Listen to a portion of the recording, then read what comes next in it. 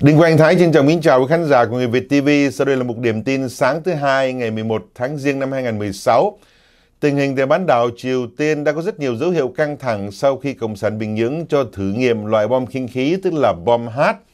Tin tức của các hãng thông tấn tại Nam Hàn cho biết là Tổng thống xứ này là bà Park Yung-hin sẽ đọc một bài diễn văn toàn quốc vào ngày thứ Tư 13 tháng Giêng sắp tới đây và bà sẽ nêu lên vấn đề an ninh tại um, Nam Hàn cũng như là chỉ thị cho quân đội phòng thủ vững chắc, đồng thời kêu gọi dân chúng đoàn kết để phòng hờ bất kỳ mọi bất chắc nào xảy ra cho đất nước. Trong khi đó, thì Tổng tư lệnh lực lượng Mỹ tại Nam Hàn và cũng là Tổng tư lệnh quân đội Liên Hiệp Quốc tại xứ này đã ra lệnh cho quân đội nâng lên cấp báo động cao nhất kể từ dạng sáng ngày hôm nay, tức là ngày thứ hai 11 tháng Giêng.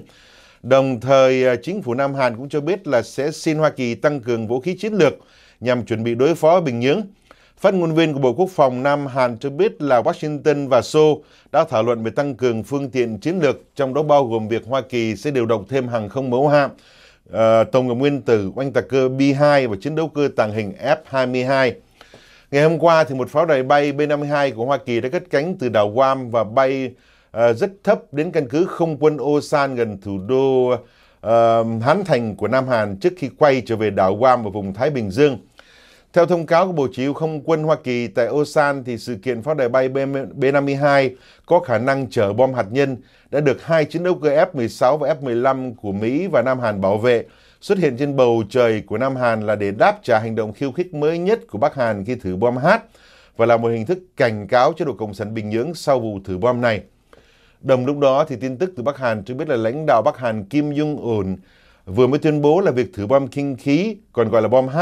là biện pháp tự vệ để bảo đảm hòa bình trên bán đảo Triều Tiên và an ninh trong khu vực. Đồng thời cũng tránh những rủi ro mà có do những đế quốc Nam Hàn, à, xin lỗi quý vị, à, Bắc Hàn nói rằng Hoa Kỳ là đế quốc đứng đầu gây ra cái tình hình căng thẳng hiện nay. Bản tin của hãng thông tấn KCNA nói rằng Kim Jong-un đã đến thăm và chúc mừng những đơn vị quân đội Bắc Hàn vừa thử nghiệm thành công các loại bom H. Cũng liên quan đến bán đảo Triều Tiên thì thưa quý vị, à, ứng cử viên hàng đầu của Đảng Cộng Hòa là, là tỷ phú Donald Trump vừa mới đưa ra một cái lời tuyên bố gây thêm uh, uh, sự chú ý của dư luận. Ông nói rằng cũng nên nhìn nhận uy tín của lãnh đạo Bắc Hàn Kim Jong-un. Uh, ông uh, Donald Trump đã lên tiếng ca ngợi Kim Jong-un và nói rằng thật là lạ kỳ làm cách nào mà Kim Jong-un có khả năng hóa giải những đối thủ chính trị của mình. Ông ờ, Trump đưa ra lời nhận định này khi được hỏi về tình hình tại bán đảo Triều Tiên và ông ờ, nói rằng Kim Jong-un là một tay kỳ quặc khùng điên nhưng mà thừa nhận rằng ờ, với một cái tuổi 25-26, Kim Jong-un lên thay thế bố để cầm quyền tại Bắc Hàn. Vậy mà đã có đủ mọi mưu lược để loại trừ ông chú ruột, loại trừ người này người kia. Là lời kết luận của ông Donald Trump rằng tay này không phải vừa đâu, đừng đùa giỡn với A. Và ông nhắc nhở rằng Hoa Kỳ không nên đùa giỡn với Kim Jong-un. Ngũ giác đài vừa mới loan báo là sẽ điều động thêm 1.800 binh sĩ tới chiến trường Iraq và Afghanistan trong nhiệm vụ huấn luyện và hỗ trợ cho quân đội của hai xứ này.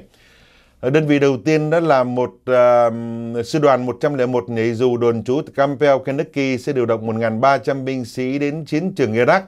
Trong lúc đó thì sư đoàn 10 Sơn Cước uh, sẽ điều động 500 binh sĩ đến uh, Afghanistan trong một sứ mạng huấn luyện và sẽ lưu lại đây 9 tháng vào mùa đông sắp tới. Hiện nay thì có 3.500 binh sĩ Hoa, Hoa Kỳ đang phục vụ tại chiến trường Iraq. Hầu hết đều là những người cố vấn quân sự cho quân đội xứ này và 1.900, à, một xin lỗi quý vị, à, 9.800 binh sĩ khác của Mỹ đang đóng tại Afghanistan cũng trong một nhiệm vụ huấn luyện tương tự. Tổng thống Barack Obama thoạt đầu đã có kế hoạch là sẽ cắt giảm binh sĩ Hoa Kỳ tại Iraq xuống còn 1.000 người vào cuối năm 2016. Tuy nhiên sau khi nghe lời uh, khuyến cáo của tư lệnh chiến trường Hoa Kỳ tại um, Afghanistan đó là Đại tướng John Capel thì Tổng thống Barack Obama quyết định là lưu lại 9.800 quân này cho tới lúc nào cần thiết. Nhìn sang uh, tình hình căng thẳng trong mối uh, quan hệ ngoại giao giữa Saudi Arabia và Iran thì thưa quý khán giả, quốc gia Hồi giáo duy nhất có bom nguyên tử trên trái đất này là là Pakistan vừa mới lên tiếng ủng hộ Saudi Arabia. Uh, Tổng tham mưu trưởng quân đội Pakistan là tướng Rahid ờ, Sharif nói rằng bất kỳ một cái sự đe dọa nào nhắm vào chủ quyền chính đáng của Saudi Arabia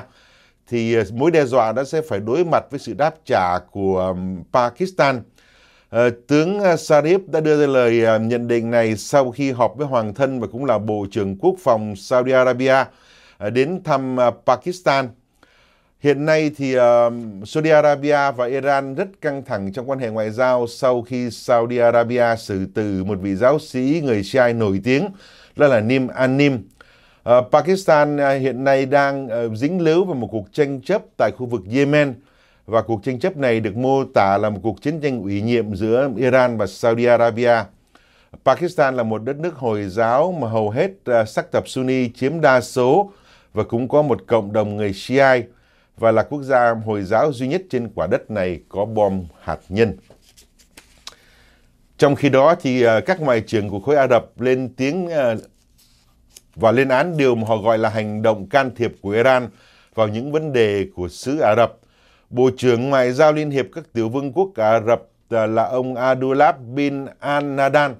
ngày hôm qua phát biểu tại phiên họp khẩn của Liên đoàn Ả Rập, tố cáo Iran cố ý không bảo vệ các cơ sở ngoại giao của Saudi Arabia.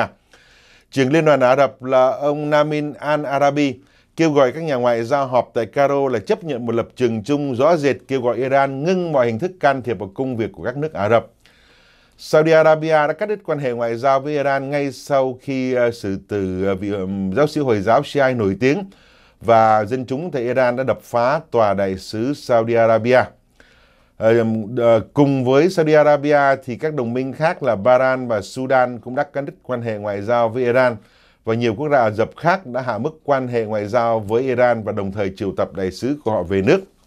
Trong khi đó, Hội đồng Hợp tác Vùng Vịnh bao gồm Saudi Arabia, Bahrain, Kuwait, Oman, Kuwait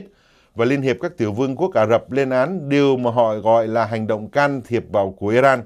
vào chuyện nội bộ của Saudi Arabia và khu vực.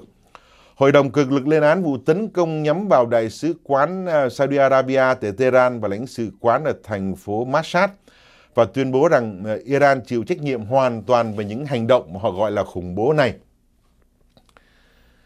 Thưa quý vị, à, sau khi hàng trăm phụ nữ người Đức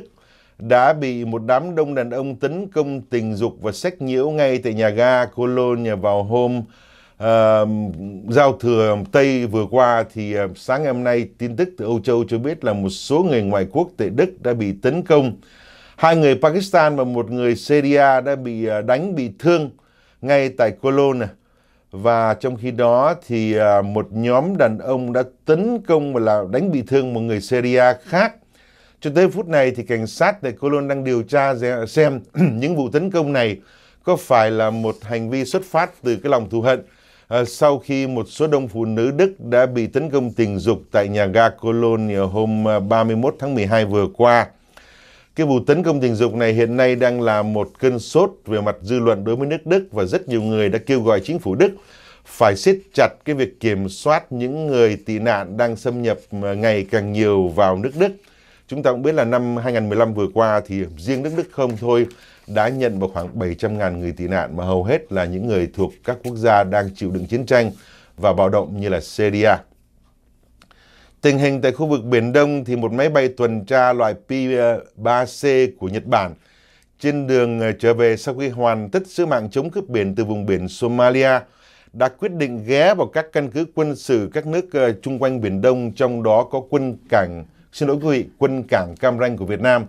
và tham gia các cuộc diễn tập quân sự tại đây. Việc Nhật Bản đưa máy bay này tới căn cứ quân sự các nước ở Biển Đông cho thấy rằng có thể các loại máy bay thám thính P-3C sẽ bay qua những khu vực Trung Quốc tuyên bố chủ quyền ngang ngược tại Biển Đông. Tháng 2 năm 2016, theo kế hoạch, thì um, loại um, phi cơ trinh sát này của Nhật sẽ dừng chân tại Cam Ranh, đảo Palawan của Philippines nằm gần quần đảo Trường Sa và đảo Labuan của Malaysia ở phía nam của Biển Đông. Thưa quý vị, sáng ngày hôm nay thì Hội nghị Trung ương lần thứ 14 của Đảng Cộng sản Việt Nam bắt đầu họp tại Hà Nội để chuẩn bị cho đại hội lần ờ, thứ 12 ờ, khai mạc vào ngày 20 tháng Giêng sắp tới.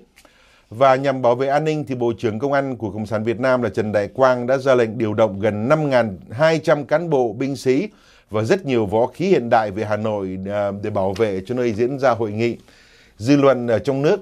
được ừ, đọc qua các hệ thống mạng social network cho biết là tình hình rất là căng thẳng, điển hình là một nhà hoạt động tên là Đoan Trang từ Hà Nội nói với đài VOA rằng tình hình đại hội đang khiến cho không khí mệt mỏi và căng thẳng.